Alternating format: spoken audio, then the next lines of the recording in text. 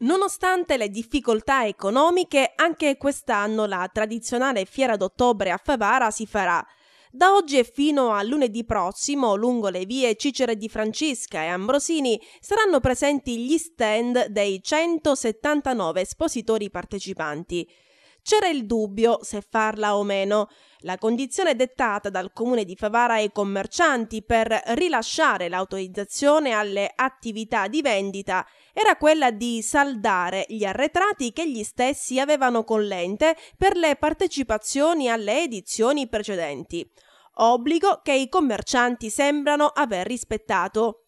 La fiera d'ottobre 2013 sarà un'edizione light a causa delle poche risorse economiche disponibili dal comune. Nonostante i venditori ambulanti sembrano aver provveduto a pagare quanto dovuto, non è stato organizzato infatti nessun evento collaterale, così come non sono stati previsti durante il tragitto della fiera i servizi igienici.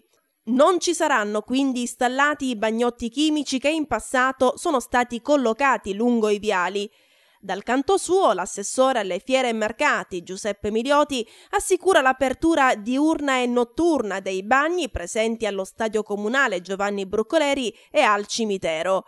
Ma considerando la vasta area della fiera che parte da Viale Ambrosini sino ad arrivare in via Cicere di Francisca, incrocio Viale Petronenni, i disagi per visitatori e stendisti potrebbero essere dietro l'angolo, Pensate ad uno stendista che si trova all'inizio di via Cicere di Francisca lasciare la propria merce incustodita per recarsi dall'altra parte della fiera per poter andare in bagno.